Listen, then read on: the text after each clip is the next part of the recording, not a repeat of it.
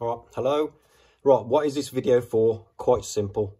People ask this question loads. What is an atomizer and what is the point of it? So I'm simply going to tell you now. So easy. They're lightweight, first of all. They're simple to use. They're compact.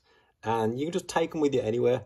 And it's better than carrying around a big perfume bottle in your car, in your bag, taking it away in a suitcase or whatever. So, simple.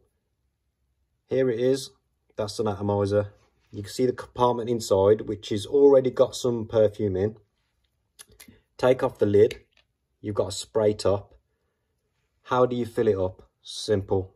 On the bottom, as you can see, there's a little hole there. Hopefully you can see that. You take off the lid from your favourite perfume. Then you take off the top lid. And what that does is expose, hopefully you can see, that little straw lid there. Put the straw lid down. Take the bottom of the atomizer. Put it on top of there.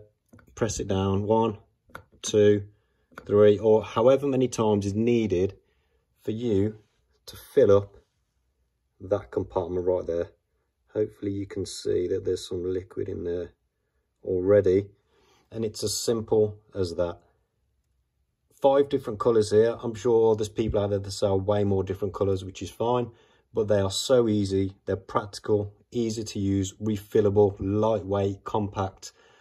You really don't need anything else, if you, especially if you're going away and you don't want to carry something around big and bulky. So uh, thanks for watching.